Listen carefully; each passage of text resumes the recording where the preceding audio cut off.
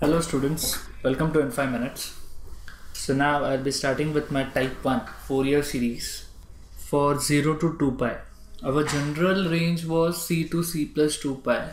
Now we'll be keeping values of c as I have mentioned different cases and we'll be solving problems with respect to that cases. So first I kept value of c as 0 so that changes my range to 0 to 2 pi. My first sum is Find Fourier series of f of x that is equal to x square in 0 to 2 pi. So we know that our f of x is nothing but a0 plus summation n equal to 1 to infinity an cos nx plus summation n equal to 1 to infinity bn sin nx. So now we need to find first a0, an and bn. So I start with a0.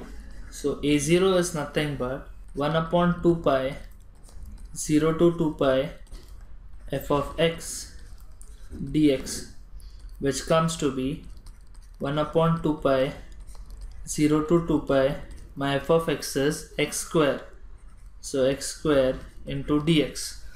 So integrating that gets to be x cubed by 3 my upper limit is 2 pi lower limit is 0 which comes to be 1 upon 2 pi 1 upon 3 and 8 pi cube where I can cancel it out and it comes finally pi. Here comes square and I can also cancel here 2 4 so it comes value of a0 that is nothing but 4 pi square divided by 3. In the similar way, I'll be finding value of an. So my an is 1 upon pi 0 to 2 pi f of x into cos nx dx. So that comes to be 1 upon pi 0 to 2 pi my f of x is x square into cos nx dx. Students you know very well that this is u into v. I have defined u into v which is generalized that is nothing but u v1 minus u dash v2 plus u double dash v3 minus dot dot dot which comes u dash is nothing but du by dx. In the same way you'll be finding higher order derivative and v1 is nothing but integration of v dx. In the same way you'll be finding further integration v2 and v3. So I use my generalized u into v rule and I solve this that comes 1 upon pi here x square cos nx becomes sin nx divided by n minus differentiation of x square is 2x integration of sine becomes minus cos nx divided by n square.